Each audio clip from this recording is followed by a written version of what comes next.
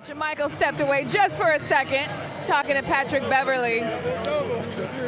All right, uh, J Mike, you guys just really able to find a rhythm offensively in this game from the onset. What allowed you guys to kind of get those good looks and to be able to play so free tonight?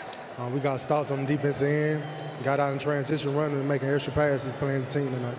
Uh, you had a double double 11 points, 13 rebounds. How did your activity impact this game? Uh, I feel like everybody had great activity tonight. Uh, we all.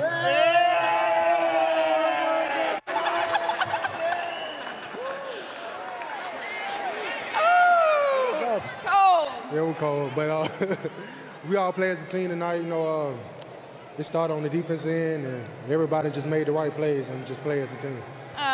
Obviously, judging from the ice bath you just took, you guys playing with a lot of energy, having some fun.